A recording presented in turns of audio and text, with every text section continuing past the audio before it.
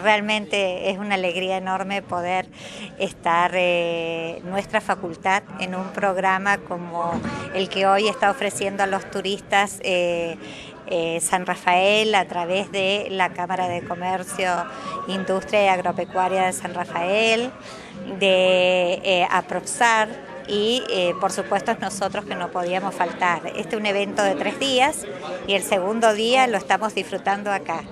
Eh, sabemos que a los argentinos nos encanta compartir una mesa y si en esa mesa hay un buen vino, eh, mejor. Y si alguno de ellos sabe eh, de vino, sabe catar y nos enseña a, disfrutar de él, bueno, ya se vuelve una velada inolvidable. Y eso es lo que estamos tratando de hacer, de que la gente que participa, el turista, el, el amigo de San Rafael, eh, aprenda a degustar los vinos que se producen en nuestra zona. Cómo, cómo, toma la copa, cómo la saborea y todo sale mejor, sin duda, sin lugar a dudas. El conocimiento está en todas partes, debe estar en todas partes.